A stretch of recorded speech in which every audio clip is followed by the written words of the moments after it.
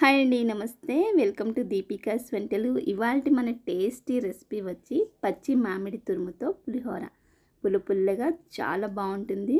దీనికి కావాల్సిన పదార్థాలు తయారీ విధానం నేను చెప్తాను. మీరు కూడా ట్రై చేయండి.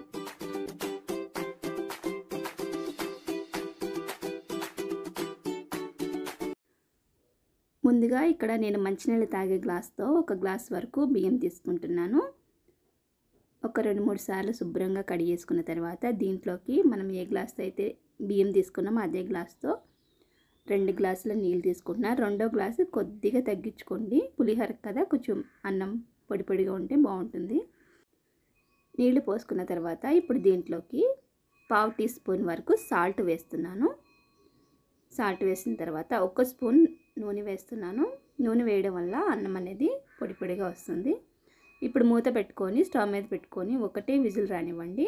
ఎక్కువ వస్తే మళ్ళీ అన్నం ముద్ద అయిపోతుంది ఇప్పుడు ఒక మీడియం సైజ్ మామిడికాయ తీసుకొని దానిపైన ఉన్న చెక్కు తీసేస్తున్నాను.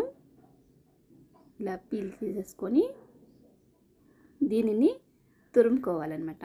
మనకి ఎంత సైజులో కావాలంటే అంత నేను ఈ సైజులో తురుముతున్నాను. మీకు ఇంకా చిన్నగా కావాలంటే ఇంకా చిన్నగా కూడా తురుముకోవచ్చు. ఇలా తురిమేసుకున్న దాన్ని పక్కన పెట్టుకోండి. ఇప్పుడు అన్నం విజిల్ వచ్చేసింది కదా మూత తీసి అన్నం ఒకసారి అంతా చల్లారబెట్టుకోవాలి కలుపుకొని.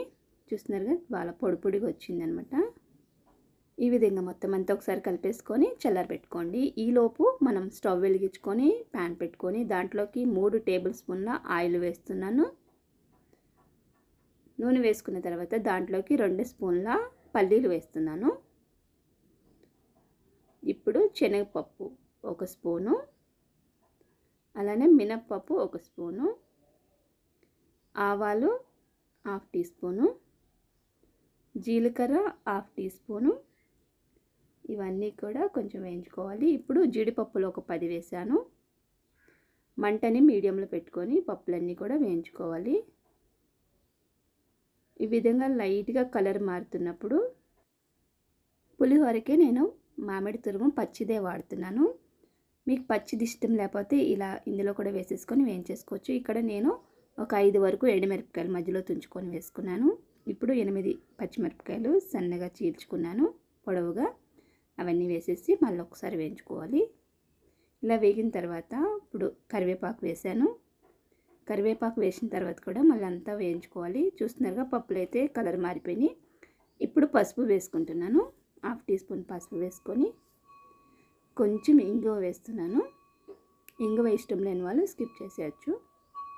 ఇలా వేసుకున్న తర్వాత ఇంకా స్టవ్ ఆపేసుకొని మామిడి తురుము చెప్పాను కదా పచ్చిది ఇష్టం లేని వాళ్ళు ఈ పప్పులో కూడా వేసేసుకొని ఒక రెండు నిమిషాలు ఫ్రై చేసుకొని కూడా కలుపుకోవచ్చు.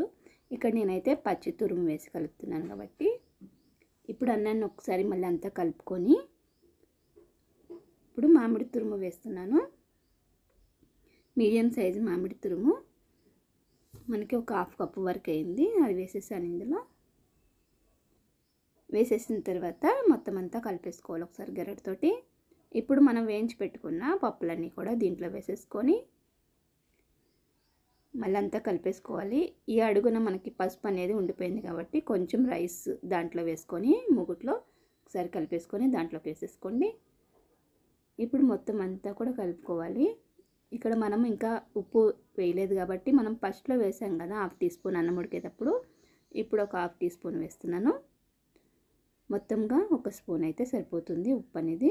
మీకు ఇంకొంచెం ఎక్కువ తినే వాళ్ళైతే ఇంకొంచెం కలుపుకోవచ్చు. కారం కూడా సరిపోతుంది. పచ్చిమిరపకాయలు ఎండుమిరపకాయలు ఎక్కువ వేసాం కాబట్టి సరిపోతుంది. కారం అయితే ఎక్కువేం అవ్వదు. పులుపు కదా? పులుపు అయినందుకు మనకి కారం అనేది తెలియదు అనమాట అందుకనేసి ఎండుమిరపకాయలు పచ్చిమిరపకాయలు కొన్ని ఎక్కువనే వేసాను. ఇలా ఈ విధంగా చేత్తో కలిపేసుకున్న తర్వాత మనకి టేస్టీ టేస్టీ మ్యాంగో పులిహార రెడీ అయిపోయింది. చూస్తున్నారుగా కలర్ కానీ టేస్ట్ కానీ చాలా బాగుంటుంది. మీరు కూడా ఒకసారి ట్రై చేసి చూడండి చాలా బాగుంటుంది. అలానే ఈ వీడియో మీకు నచ్చినట్టయితే లైక్ చేయడం మర్చిపోవద్దు. కొత్త వాళ్ళు ఎవరైనా చూస్తున్నట్లయితే మన ఛానల్ని సబ్స్క్రైబ్ చేసుకోండి. మరిన్ని ఇలాంటి మంచి మంచి రెసిపీస్ మీ దాకా రావాలంటే సబ్స్క్రైబ్ చేసుకొని పక్కనే ఉన్న బెల్ ఐకాన్ ఆల్లో పెట్టుకుంటే నేను ఏ వీడియో వేసినా కానీ వెంటనే మీకు నోటిఫికేషన్ అన్నది వస్తుంది. మరొక మంచి రెసిపీతో మళ్ళీ కలుస్తే. అప్పటి వరకు bye bye thanks for watching.